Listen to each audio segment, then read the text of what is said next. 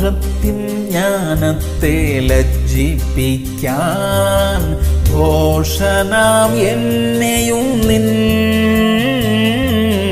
പാത്രമായി മാറ്റിയല്ലോ.